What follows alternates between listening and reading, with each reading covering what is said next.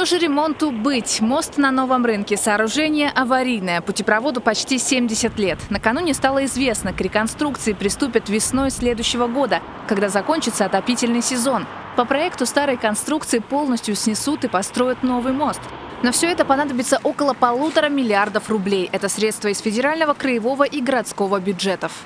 Участников данного проекта их много, и основная задача по возможности сохранить комфорт для горожан, а, но синхронизировать все работы, в том числе железная дорога – это основа основ – уже сейчас ясно, мост закроют, заторы неизбежны. Пожалуй, самое сложное в этом проекте – движение электротранспорта. Над этой задачей работают выпускники политеха. Летом они представили свои дипломные работы. Что-то из этого ляжет в основу организации движения в районе Нового рынка. Как почитали специалисты, каждый день трамваями и троллейбусами пользуются 70 тысяч барнаульцев. Из них 47% ежедневно проезжают мимо нового рынка.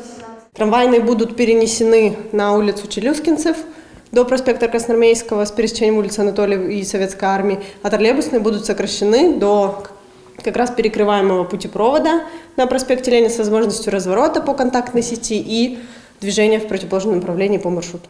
Пока это всего лишь предложения, которые сейчас обсуждаются, точно так же, как организация движения автобусов. Как будет ходить транспорт, станет известно в ближайшее время.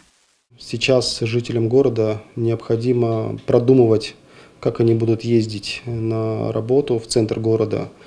Может быть, поговорить со своими работодателями, те, которые частные, чтобы сдвинуть время работы для того, чтобы все-таки вот этот час пик, который у нас приходится на 8-9 часов, скажем так, не было такого транспортного коллапса, его немножечко так отодвинуть. Что касается тепловых сетей, на этот участок приходится серьезная нагрузка. На новом рынке проходят коммуникации большого диаметра. Чтобы у жителей не было проблем с горячей водой, трубопроводы закольцуют в районе бывшего дома быта. Все работы проведут летом. А в Росводоканале, в свою очередь, сообщили, что в этом районе города есть возможность переподключить потребителей, так что особых перебоев с водой жители также не почувствуют. Добавим, что согласно проекту движение по мосту перекроют до конца 2023 года.